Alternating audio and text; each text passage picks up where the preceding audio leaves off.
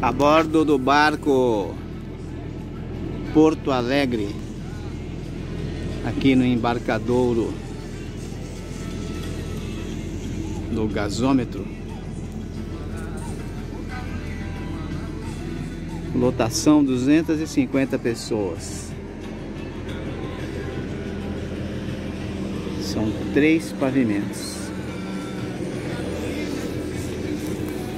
É gente para chuchuzes. Só que com esse probleminha da, da sindemia, não tem ninguém. Acho que nem vai dar cota de passageiros para embarcar, viu? Tá complicado, em compensação o sonzinho é da pesada, viu? Falta meia hora para ele partir.